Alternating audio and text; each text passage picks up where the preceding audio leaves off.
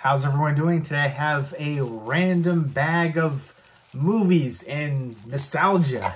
Uh, there's a bunch of different items in here. I've done these videos before. It's been a long time since I have. Uh, there's movies in here and then just nostalgia stuff I figured I would share with you.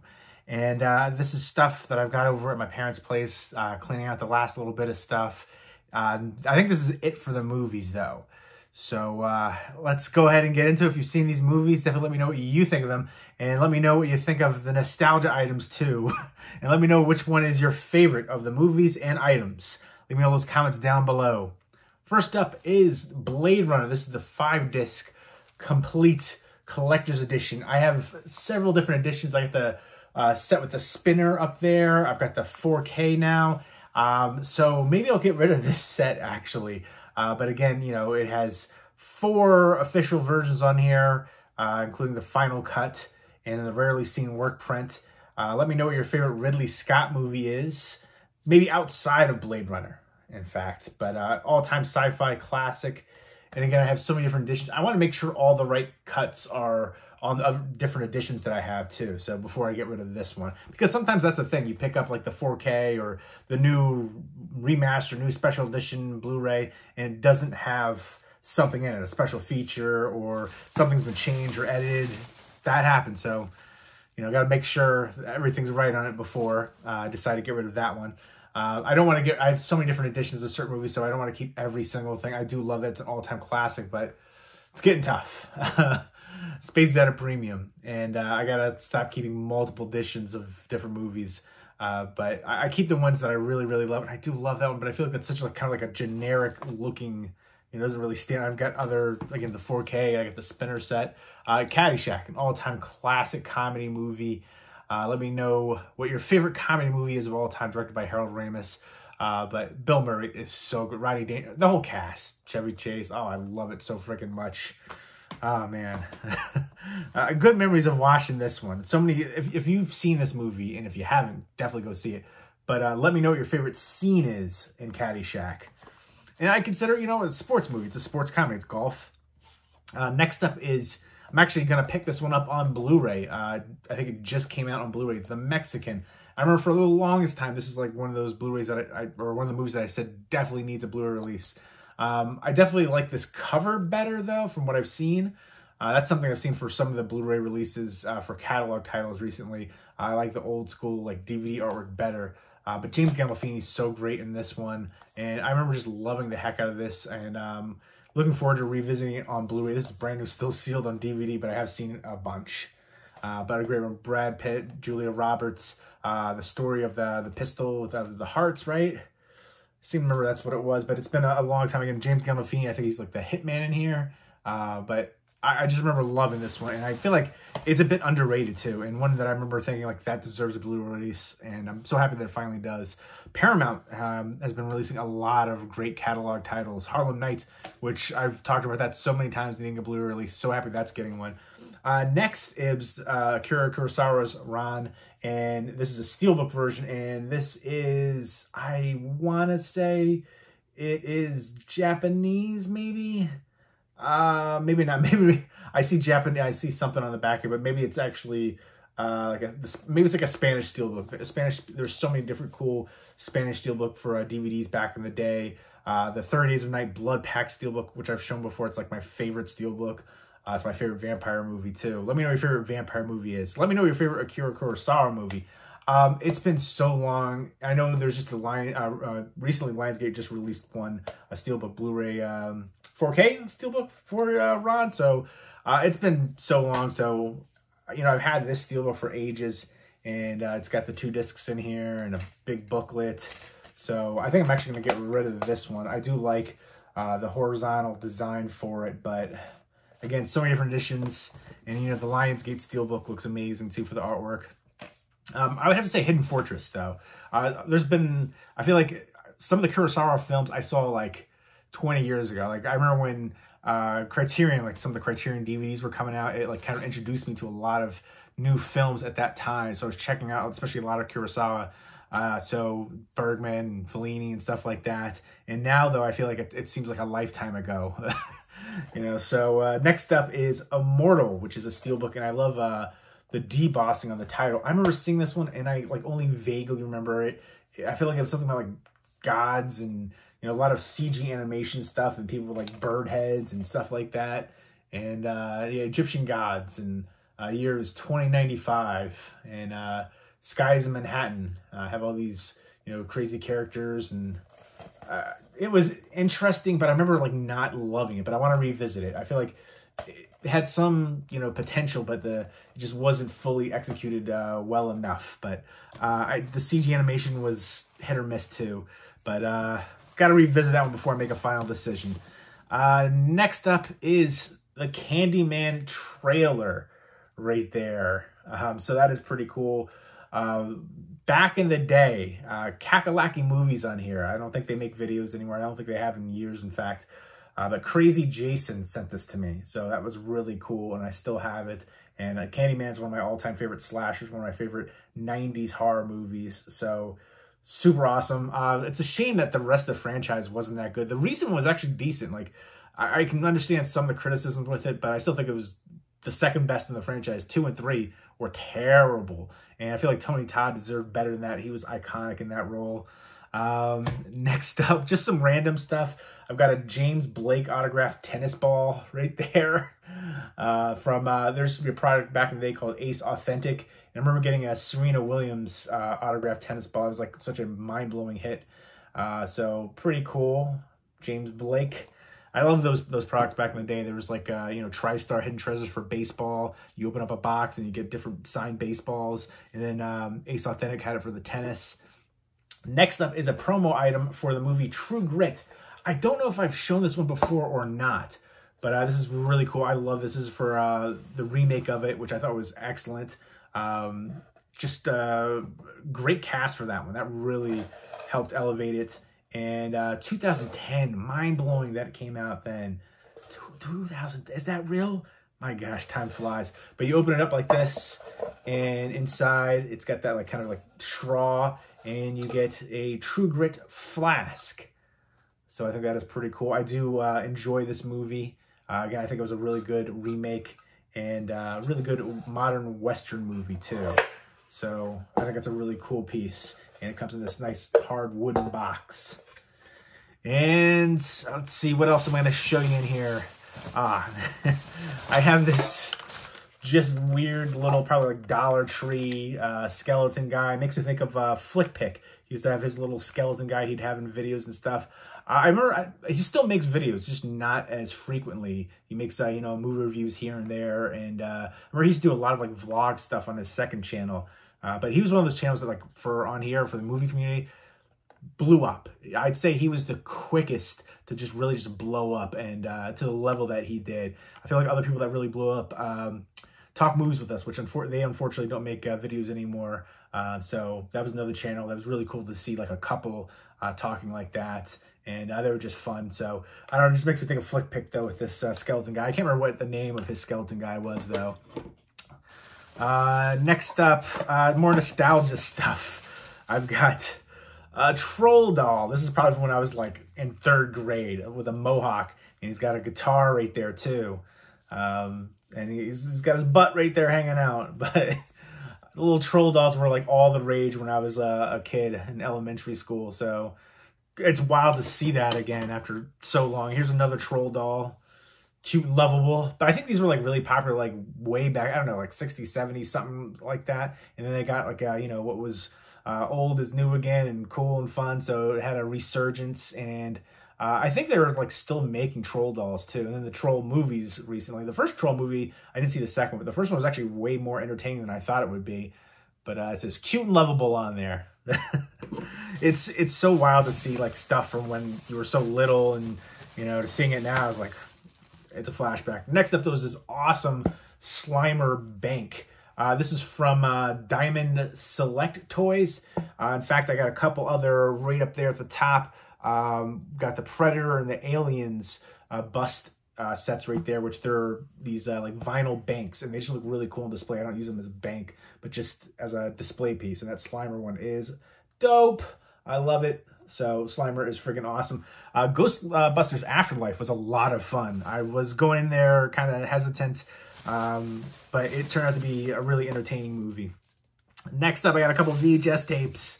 Uh, we've got Dream Team uh, the from 96, not the classic Dream Team, but um, this is also really cool. It's brand new, still sealed. Uh, maybe I'll get it graded. That's like a new thing, VHS grading, which is I, I kind of get it, and it's also it's people crap on it, but at the same time, like people are grading comic books and have been grading comic books for you know like thirty plus years. I don't know how long comic book grading's been around, but at least thirty years. And you can't, you know, comic books meant to be read, but uh, you, you can't read it. So if you're grading a VHS tape, you can't watch it. Uh, when is it going to be like grading DVDs, grading Blu-rays? I feel like that's in the future. And uh, some of the VHS tapes that are graded go for crazy money. And I don't think it's a gimmick. I don't think it's, people are saying it's, oh, it's just, that's not really selling for that. It's fake bids. It's money laundering. No, I, I truly believe that it is. People will pay it, collectors for sure. Uh, and again, you know, sports card grading and stuff like that. Uh, it's a real thing. In fact, you know, I, I got some sports cards right next to me, which I will show you. This has nothing to do with it, but just to give you an idea, there's my, my Luka uh, PSA 10 Gem Mint. You know, these ones don't go for too much, these particular. And then Giannis, another Gem Mint 10 PSA. Um, but there's a market for it. There's a huge market for it. So um, it's, it's definitely a thing. And this is crazy to see Caldor. I remember Caldor all the time. I used to go to the, the Newburgh Mall back in the day. I, I, grew up everywhere, but that one in particular, I remember that mall going to all the time. The Caldor there, but that's long gone. Uh, but you see all the basketball players on there. Uh, what a great lineup, though. Um, just all-time classic. Uh, let me know who your favorite basketball player is growing up. And uh, I grew up in the video rental store, mom and pop stores, uh, Captain Home Video, Joe's Video, Easy Video. Uh, but I was huge into basketball. As a kid, I played basketball. Uh, and so I was really into everything basketball. So it's cool to actually see this. I'm going to keep this for the memories. Uh, next up is another VHS tape. Don't be a menace uh, to South Central while drinking your juice in the hood. I actually rewatched this recently uh, for the first time in a long time, and it was a little cringy at times. Not as funny as I remember it being, but it had some moments, you know, parroting all like the the movies that came out during that time period. Uh, so again, Juice is an all-time classic. It's great to see that getting so much love on the physical media recently. But Above the Rim needs a Blu-ray release. How does that not have a Blu-ray release? Come on, Paramount. Uh, you're doing so well with so many other titles, Juice included. Uh, but yeah, that one needs one for sure. But Jersey Drive, there's Dead Presidents. There's a ton that need Blu-ray releases still. Uh, but this is a ridiculous one. Uh, I met the Wayans brothers once and they were jerks, especially Marlon. But I feel like I heard that a bunch during that time period. He wasn't fan friendly or anything like that. I saw him at a local comedy club. I went to see their stand up and uh, both of them were super douchey, especially Marlon though. I talked about it before, but uh, I heard now that like, they're they've kind of maybe changed their way because they realize how important you know, dealing with fans uh, can be, and especially with uh, you know Marlon. I think it was once he did his like haunted house spoof movie. I feel like he started you know being more fan friendly, doing more like interviews and stuff like that. Uh, so hopefully you know they learned the ways. But uh, yeah, I was disappointed to meet them and uh, to see they're kind of jerks. But um, this is I still like them, uh, especially Marlon as an actor. Uh, but you know, uh, this one though, I don't know if I'm going to keep this one. I remember liking a lot more as a kid as I than I do now, but it's still fun. It's still entertaining. It's nostalgia for me, but I don't know. We'll see. Uh, next up, we've got some cassette tapes, which is cassette tapes. Oof. That's something I'm glad, you know, CDs and, you know, I'm physical media when it comes to, uh, you know, books and movies, but for music, I don't know, I got my YouTube playlist going and stuff like that. Uh, so I'm not really collecting CDs or anything like that. In fact, I'm getting rid of my vinyl records because I don't have a vinyl player or record player anymore. But this was, I had a cassette uh, alarm clock, and this is what I woke up to every morning in high school.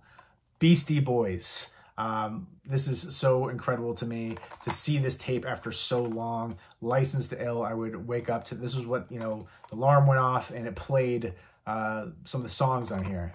So that is cool. This is a keeper for me. I'm going to keep this one. Um, one of my all-time favorite albums right there. Uh, Meatloaf uh, said he recently passed away. This is Bat Out of Hell 2. So pretty cool to see the artwork and everything on here. You know, there's Meatloaf right there in the inside. Uh, but yeah, I'm probably not going to keep these other ones. I want man, uh, Wayne's World 2 soundtrack on here.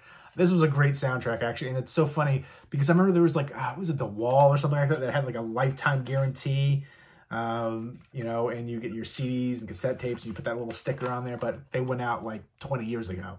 So I think it's just kind of funny, but uh, I don't know if I'll keep, maybe I'll, that's tempting to keep that one, but I'm not going to keep this Aerosmith one. Uh, the other side, so yeah, this is a, a single right here. Uh, there's a few songs on here though. So, oh, in fact, uh, from Wayne's World theme from Wayne's My My Girl. So that's probably why I picked it up at the time. I do like Aerosmith. Let me know your favorite Aerosmith song is. Let me know what your favorite movie soundtrack is. Let me know your favorite Meatloaf song is. That's kind of be an easy one. Your favorite Beastie Boys song. Uh, let's see. Uh, there's a few more items over here. Uh, I got some old like comic book cards which I'm going to get rid of these for sure. I was huge into comic books growing up as a kid. I used to love the draw. I wanted to be a comic book artist, uh, you know, basketball player, comic book artist, astronaut, you know. Um, and we've got, I'll just go through these pretty quickly. It's just cool to see. I remember these ones from the Wizard magazines, those foil ones. Those are pretty amazing. But I'm probably going to get rid of all of these ones just because, I don't know. I know I have more of these somewhere too. There's Shadowhawk, Savage Dragon. I love the image comics growing up. Here's some of the Death Watch ones. These are all like inserts and stuff, foil cards and Wolverine. I hate that drawing of Wolverine. His weird fat shaped body. I could have drawn better than that when I was in like third grade. That guy got paid for it too. Um, here's some ones I don't really remember. Freaks and Slayer. I don't remember these particular uh, cards at all, but oh, I remember here's some more um, Todd McFarlane's Santa Todd, more like wizard stuff. And I remember some of these ones were like, you know, hard to come by, especially the wizard uh, ones that um, Wizard magazine I was so awesome. It was like a magazine for you know comic books and stuff. It had like a price guide, but it would have like news stories and stuff like that. But uh, some of these uh, Wizard cards would go for back in there. I, I, doubt they have the value anymore, but it's just cool to see them uh, again after all this time. But uh, I, I'm not going to keep them. There's just you know, I've, there's going to be other people who appreciate them more than I do. It's cool to see them again and relive the memories, but... Oh, I remember these Spawn cards right here. Some foil ones that connect like that, so that's pretty cool. Is it Violator? Yeah, yeah. I'd love to see another Spawn movie made. So that was an odd. I love the heck out of that movie. John Leguizamo doing uh, the voice right there too. Uh, Michael Jai White, why isn't he in more movies? I thought he was like an awesome action star. He's still in stuff, but he should be a bigger star than he is. Oh, I remember they were huge, Gen 13. Um, uh, Ripclaw. I love these foil kind of like uh, glossy ones too, and acetate. This is during like that 90s comic book boom where everything was overproduced. Um, oh, Manny Ramirez rookie card from the, the Starflex, that moving design right there. Look, a young Manny right there, not listening to it. He did all kinds of just crazy stuff in the outfield, you know. so many crazy, ridiculous stories with him. Then he listened to like earphones while playing out there, and he tried to like go to the bathroom, and he, uh, you know, a, a ball came to him when he was still back there. All crazy stories with him. Here's a uh, Topps Finest of Charles Barkley with uh, that little layer of protection on there that, that you're supposed to peel off. Here's uh, one of those, uh, I remember loving this basketball set, uh, um, for uh, Upper Deck back in the day. I was in 92 with uh, the drawings, though, of uh, Larry Bird and Michael Jordan, Birdman and Agent 23. And some Garbage Pail Kids cards. I was big into Garbage Pail Kids. This one was like one of those rare ones. In fact, I remember this specifically, Crystal Gale. There was like three different versions of this particular card, not just A and B. And I think this was the one that was like hard to get. And for a while it was going for money, but I don't think it's going for anything now. Uh, Max, I used to love this TV show. I was at Sam Kieth. Um, I gotta get that actually. And just, I'm gonna try to go through this a little bit quicker. I'm sorry. Just seeing this is pretty, look at that Superman one, that hollow foil. How cool is that? Um, but just some more cool cards in here. Just seeing the characters just brings back all the memories. Cable was my favorite comic book character growing up as a kid. Oh, that's cool. Look at this. It was like a Marvel and then the back image with uh, Youngblood. So some uh, awesome Rob Liefeld stuff back in the day. But let me know who your favorite comic book character was. Cable was essentially like a Terminator ripoff, but he was so cool. Look at that Darkness one. Look at that card. It's so freaking cool. Was that Whilce Portacio, I think? Um, but yeah, just so many cool cards on here. She, Evil Ernie, right? Is that what that was? Yeah. And then Lady Death, Vampirella, another Lady Death card. Yeah, Lady Death, Vampirella, those ones were like real hot back in the day too. Those characters. Here's a, medal of Human Torch. That looks cool. Another one, medal of Doc Ock. so these are all like insert cards and stuff, all foil cards and, you know, stuff like that. So if you got one of these cards that made your day, Punisher 2099. I love those 2099, especially Spider-Man. There's a Doctor Doom one too. Was it Ravage or something? Ravage or something like that. But that's a cool like red foily one. And then I got this real awesome Valiant Comics one for Secret Weapons. It's a foil one. I used to love Valiant Comics. There need to be more Valiant Comics movie adaptations. Uh, the only one I can think of right now is Bloodshot, which I still haven't seen with that Vin Diesel, but I heard it was terrible, unfortunately. Um, all right, there's just a couple more things to show you. I've got this uh, 10 edition, but yeah, Valiant Comics. Such an opera. Turok, Dinosaur Hunter, X-O Manowar, Solar Man and Atom, Archer Armstrong, um, Shadow Man. So many cool characters they can adapt for movies. But I have this Sweet Spot Classic 10. Um, this was a baseball card set from, uh, I think this was 2007, but you, I was, it was expensive, like a, maybe, I don't know, like a hundred bucks or something. You get, um, you get one uh, sweet spot signature card number to 175 or less per 10 on average, five cards per 10. When I was a kid growing up with some of these cards I just showed you, if you got an all-star, or I'm about to show you two actually, I, I know what's in this one. Uh, you know, if you got an all-star or rookie, that was your big hit, but now you, you can spend hundreds on a pack with like five, seven cards and uh, you know because you're guaranteed an autograph or a piece of the jersey or something like that but love the 10 set i uh, love this this is one of like my favorite sets back in the day uh, Babe Ruth on there too. But there's some cards in here that I think are pretty cool, including, uh, what year was this? Uh, 88, I believe, Jordan. I believe that's what it is right there. But uh, this Fleer Jordan card, 88 or 9. The text is like so minute on the back. But uh, I looked this up and I saw like a chewed up version of this card go for 35. So this one's got to be uh, you know, worth a little bit more than that. It's funny, some of those Jordan cards, uh, especially the older ones, you can get some bank for it. Um, but in this one, the centering is terrible from the top to the bottom, but still, you know, I'm expecting to get a little bit, maybe 50 bucks or so for it. Uh, so it's pretty cool to see that.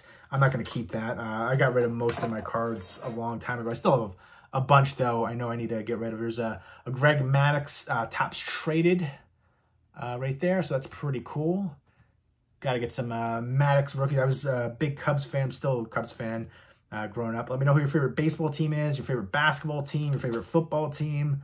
I follow the big American three. Uh, basketball is my favorite to play. Football is my favorite to watch now. Basketball close second. And baseball, I don't know, man. I remember. I feel like the games they seem like they're 20 hours long now. Tony Gwynn is an old one uh, from uh, what is it? 80, 84, I think this is on here. 84 Topps. Tony Gwynn, one of the greatest hitters of all time. I feel like if he didn't put on so much weight, he would have been even better. Um, Mark McGwire, rated rookie. Don Donruss. But yeah, to see some of these cards, like I remember just going crazy. Jose Canseco too, the Bash brothers right there. Um, so pretty awesome right here to see these cards after so long. Cal Ripken, um, you know, this was 83. So yeah, uh, you know, 80 or like late 80s, early like to mid 90s. Like that was my time for collecting sports cards and stuff. And then these ones are um, ones that I got in like the 2000s. Uh, this was SP Authentic when it was a game with Pee Wee Reese, old time ball player, and that's like a piece of his jersey right there. So that's pretty cool. And then uh, Ron Guidry, uh, which is numbered at a 225 for this one. I don't know what the Pee Wee Reese is number. Ooh, almost dropped it uh, is numbered out of, but uh, it's the Brooklyn Dodgers for Pee Wee Reese. But uh, Ron Guidry for the Yankees right there. And it's got the pinstripe, which is really cool. It's got the gold one. I know I had another one of these, which is like a silver one. Can't remember which is uh, the rarer of the two. Maybe this one. But uh, pretty cool looking. And one more thing real quick, real quick. Um, let me show you this one. These uh, old baseball card postcards. And this is for the Mets right here, Darryl Strawberry. And uh, we've got um, Gary Carter. Uh, I grew up in, uh, I grew up a little bit everywhere, but I spent a lot of time in Virginia. Half my family was from Virginia, and there's just the Tidewater Tides, which was like, um, you know, with a AAA team for uh, uh, the Mets. And um, we got, uh, who's this one? John Gibbons. And uh, Dave Magadan. I remember him. And then we got uh, Rickey Henderson. So that's pretty cool. I remember looking this up on uh, eBay actually, and there was like somebody that wanted like read like a couple hundred dollars for this card, and I don't. It's not worth that. I think they're just you, know, you can put whatever you want price wise on eBay. Doesn't mean anybody's going to actually buy it. Um, and then Don Mattingly, Donnie Baseball. Look how young he is now. Ah, you know he's getting a lot older managing now. The stress of that. We got the Toledo Mud Hens uh, for uh, Jerry LaMastro. I don't remember him. Another Toledo Mud Hens card, Dennis uh, Burt. So, you know, we got some of these minor league teams on here too, which is kind of cool. And then we got some of the, these Donruss champion ones. Jeff Burroughs, uh, Wade Boggs. There you go. That's a legend right there. Uh, Hank Aaron, definitely a legend. Uh, I feel like he's just, for me, Hank Aaron is the home run leader. Um, you know, Barry Bonds, I, I, just I just look at him and consider him to be the true home run champion. Uh, Fred Lynn, you know, there's certain things like cheating was always part of baseball, spitballing, you know, scuffing the ball, doing things like that. But straight up just taking, you know, your Barry Bonds' head got huge, just unnatural looking. All the stuff that he put in his body. I don't. I know you still have to do everything else. You can't just take it just automatically. Like you look at Canseco. Uh, didn't turn him into Barry Bonds, uh, but I don't know. I digress. Uh, but we got Tom Seaver, another uh, Mets legend right there. Uh, it's cool to see these kind of like uh, postcard ones. But yeah, I was really big into comic books and uh, sports cards and stuff when I was a kid. So ooh, this rubber band just broke right in my face. I don't know if that caught that on camera, but it's cool to see all these again after so long. So it's just a mixture of nostalgia and movies for me. Uh, so I was always a collector, even since I was a little kid. Uh, baseball cards. I remember when I was a kid, you get some baseball cards. You get, you know, your friends. You would try to trade, but you play this game where you would flick the card off like a the the stoop. Uh, so you'd uh, put them up against the stoop, and you would try to, you know, throw a card, and if it knocked one of those other cards over, you got that card. Uh, I don't know if anybody else played that game back in the day, uh, but really cool to see all this stuff. Um, I have pretty much everything out of my uh, parents' old place now, so I just have like a few things to get. I think this is it for the movies, but let me know what you think of all of this. I hope you guys enjoyed this really random video, seeing some movies in here and seeing a lot of nostalgia from my childhood things that were really cool to me growing up and things I collected. Let me know what you collected growing up as a kid. Let me know what you collect now besides movies, if you do collect anything else. Uh, but let me know if you've seen the movies and what you think of them. And uh, let me know what your favorite movie was that I just showed and your favorite item in this random bag of movies and nostalgia. Leave me those comments down below. And I hope everybody's doing well. Take care.